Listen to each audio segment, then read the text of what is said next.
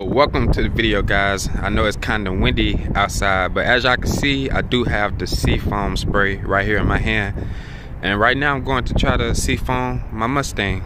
Um, see how it works. The only downside is i don't have no help because it does require you to keep it at 200 rpms while you i mean 2000 rpms while you spread but let's just try like this and see how it works so the cool thing about this is super simple to do. You see you got this little plug right here. You just take off the plug to the intake. You insert the little tube right here. And then turn the car on and then your basic spray. I also want to mention before you do this, make sure your car is at um, operation or operating temperature. Then you'll turn it off. You'll put this in, turn the car back on and make sure you spray it. So let's get to that step. So I screw off my intake, super simple. I kind of put the tube in this way so you'll basically like set it in here, then you'll put the intake back on and that's pretty much how it works. So let me do that real quick. So I kind of got the tube in as best as I can. You'll take that in and you'll put it where the seafoam is. So I got the seafoam connected to the car. So now let me go turn it on. I'm to make sure it don't fall though, cause definitely want to fall. But yeah, let me go turn it on and try to it like this and see how it works. So I got the car on, and I kind of just spread. I don't know if y'all can hear it, but I am spraying it.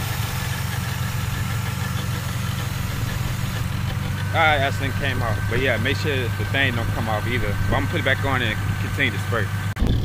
So I'm back guys, I sprayed about half of the can so far. I did see a little bit of smoke come out, but it might be best that you get help because it is definitely hard to try to spray this by yourself and keep the car at 200 RPMs. So that's the only downside doing this by yourself. So you definitely would need help doing this. But I feel like it worked a little bit because I did see a little bit of smoke. So let's go ahead and finish and top off the whole thing.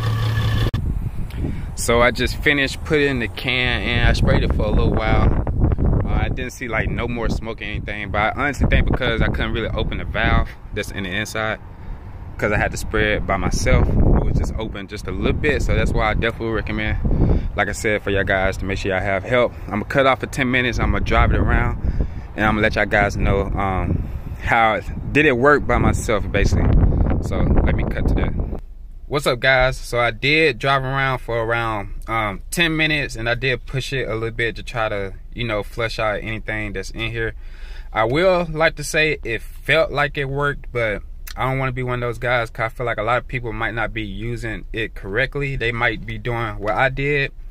Um, that is something you should definitely not do when using this product. Make sure you have um, help and just anything like that because I know a lot of people kept saying that it doesn't work. Then you have a lot of people that said it does. I feel like maybe it does. I can't really say it because I didn't do it the right way, but you can't go on and try to do it by yourself because it's just not gonna work. I did see a lot of smoke. My car did feel a little bit more responsible. I mean responsive, so I can say that.